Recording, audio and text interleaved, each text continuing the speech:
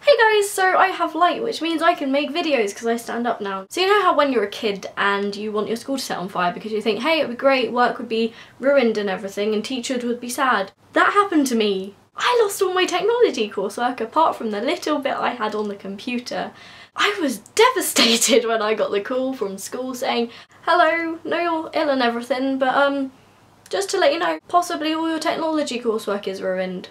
From a fire that happened at the weekend. How? I don't understand. And then at the end they ask, oh, do you have any questions?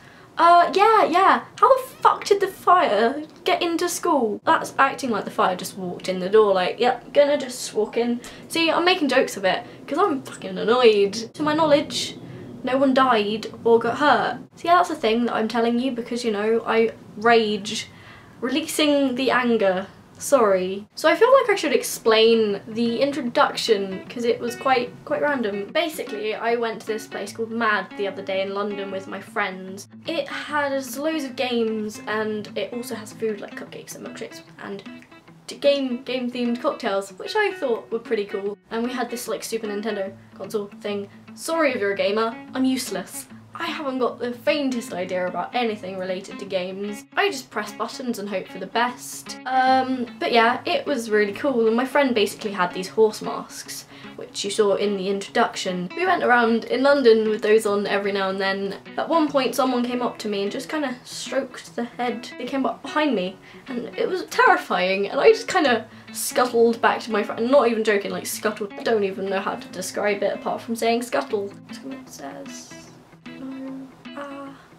also, haven't recorded a video in a while because parents are doing work on the kitchen, thought I should tell you that. The fact that someone was coming up the stairs except they weren't reminded me. Sorry. But anyway, some Polish people came up to us and my friend let them borrow the horse mask because that's what they wanted and they wanted a photo. My other friend decided to just kind of shove me towards them and go, hey Ella, go take a photo. And they're like, yeah, yeah, come with us. And I was just there like, oh god. And you had just this photo that my friend took on this, D um, not DSLR, on an SLR nice camera that is. I my new cover photo and profile picture from that. I love it. I want one. I want loads of cameras.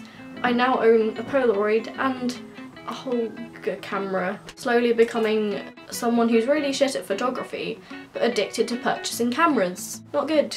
Not, not good. I don't know what I'm doing anymore. I need to stop. I'm gonna go. That's what I'm gonna do. I've told you pretty much everything that's happened recently and why do you watch this? Just why? Ah, okay, I'm gonna go.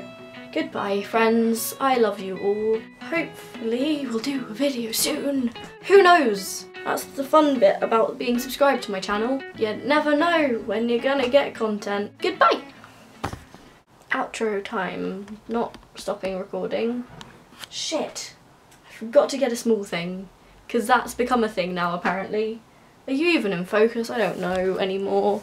Shoe miniature shoe just on the table. I didn't even put it there and I have no idea where this came from. But here we go. So this is the outro bit apparently. Uh, just gonna put my old video here. Don't don't forget to check it out. It's the first time I ever stood up and I'm even probably weirder than I was here. So yeah, I love you all. Don't forget to like, comment, subscribe, dislike if you didn't like the video. That's the thing that not many people tell people to do. What the fuck am I doing? Bye!